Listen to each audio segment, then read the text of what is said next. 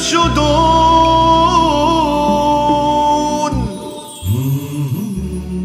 في حين الظهور عندما يظهر الإمام المهدي المنتظر عليه السلام ويفتح طريقه بقوة السلاح من الحجاز عبر سوريا والأردن إلى فلسطين وهناك يذهب إلى بيت المقدس لأداء الصلاة.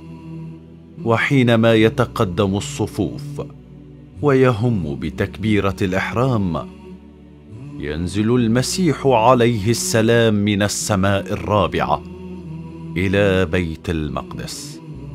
فيتراجع الإمام المهدي عليه السلام من المحراب ويقول للمسيح تقدم فصلي بنا يا روح الله. فيأخذ المسيح عليه السلام بعضد الإمام المهدي عليه السلام ويعيده إلى المحراب ويقول له بك تقام الصلاة.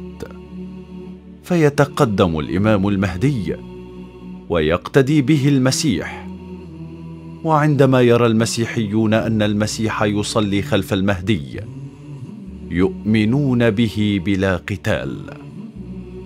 والمسيحيون اليوم يشكلون الأكثرية الساحقة في الدول الكبار. فإذا استسلمت له الدول الكبار فإن بقية الدول تعلن ولاءها له رغبا ورهبا. ونحن نرى في أيامنا هذه أنه لا يظهر ثائر إلا ويشغل كل الدوائر السياسية في العالم ويضع كل أفراد شعبه أيديهم على قلوبهم خشية بطشه. رغم أن الثائر ليس إلا رجلا عسكريا استخدم تكتيكا معينا للسيطرة على عاصمة بلاده. ورغم أن الناس تعودوا أن يستفيقوا على الثورات وعرفوا حدود الثورات ووجدوا أن الثائر صبيحة ثورته أكثر الناس فزعا من المعاكسات فيبادر إلى غلق الحدود مع جيرانه والمفاوضة مع السفارات المعتمدة في بلاده والمعسكرات النائية. وربما يتنازل لها عن كثير من كرامته وكرامة بلاده للاطمئنان على حياته. فكيف إذا ظهر قائد؟ فتح مجموعة من البلاد وأسقط عدة حكومات واستسلمت له الدول الكبار خلال أيام. في ظهور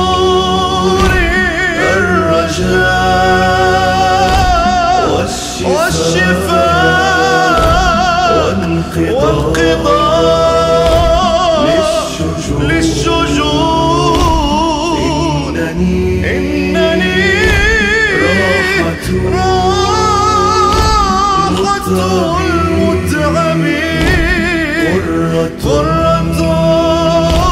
للغاية